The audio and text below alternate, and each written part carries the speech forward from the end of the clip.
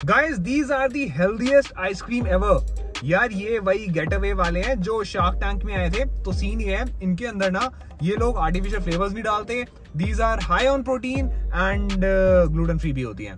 तो मैंने ना इनके दो फ्लेवर्स ऑर्डर किए हैं। वन इज़ सॉल्टेड कैरामिल और दूसरी है keto very berry oh ice cream is good यार। यार बताए क्या? इन्होंने ना इसके अंदर एक्चुअली में वे प्रोटीन डाला हुआ है। Let's try the salted caramel okay यार ये सॉल्टेड कैरामिल वाली एक सौ रुपए की है। 114 में I think this is 125 ml और जो दूसरे वाली थी वो कीटो वाली which is keto friendly that is for rupees one महँगी तो है थोड़ी। ओ भाई। बट फ्लेवर बहुत अच्छा है। यार देखो, ये प्रोडक्ट ना थोड़ा यूनिक तो है। मतलब इन्होंने आइसक्रीम को थोड़ा सा हेल्दी बना दिया है एंड मैंने इससे पहले कभी हेल्दी आइसक्रीम नहीं खाई थी तो मैं तो इन्वेस्ट करता भाई इनकी कंपनी में।